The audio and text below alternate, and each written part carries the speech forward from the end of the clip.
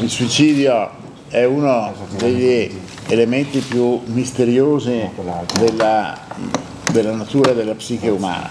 Certamente quello nelle carceri ci riguarda da vicino e noi cerchiamo di affrontarlo essenzialmente con l'aiuto psicologico. Abbiamo stanziato già 5 milioni per eh, assumere e ritribuire quelli che già ci sono eh, professionisti della psicologia per capire anche qui quali possono essere i segnali di allarme. Detto questo, eh, il rapporto tra causa ed effetto del cosiddetto sovraffollamento non è poi così sicuro. Ci sono stati dei casi negli anni scorsi in cui le carceri erano più sovraffollate e c'erano meno suicidi e viceversa. Certo il sovraffollamento è un altro problema enorme che noi stiamo affrontando senza per questo però aprire le carceri indifferentemente perché altrimenti la certezza della pena e l'autorevolezza dello Stato verrebbero diminuite. Teniamo presente che eh, quelli che si trovano in carcere sono stati eh, messi lì per, eh, la, eh, per, il provvedimento della magistratura.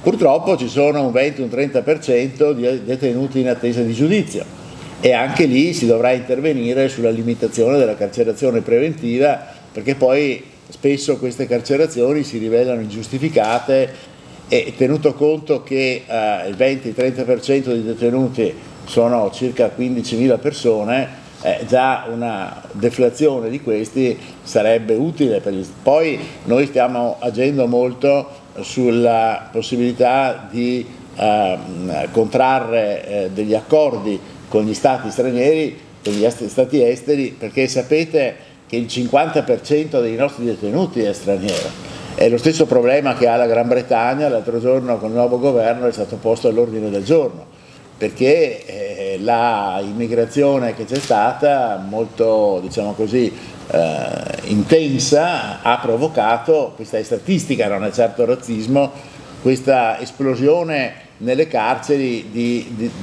di detenuti molto differenziati. Da ultimo, sempre per dimostrare proprio il mistero della mente umana di persone che si suicidano, va detto che molto spesso queste sono persone che sono addirittura in procinto di essere liberate. Non sono persone che si trovano in, nelle condizioni peggiori, mettiamo il 41 bis.